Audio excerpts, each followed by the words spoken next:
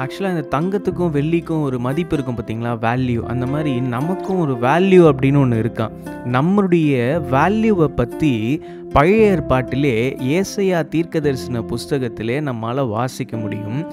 ஏசையா அறுபத்தி ரெண்டாம் அதிகாரம் மூன்றாம் வசனத்தை பார்ப்போம்.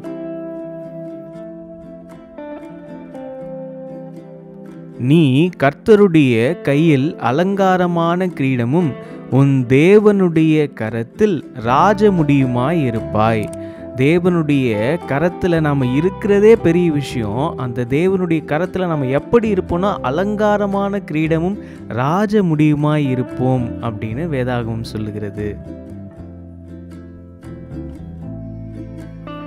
Isaiah sixty two verse four You will be a crown of splendor in the Lord's hand, a royal diadem in the hand of your God.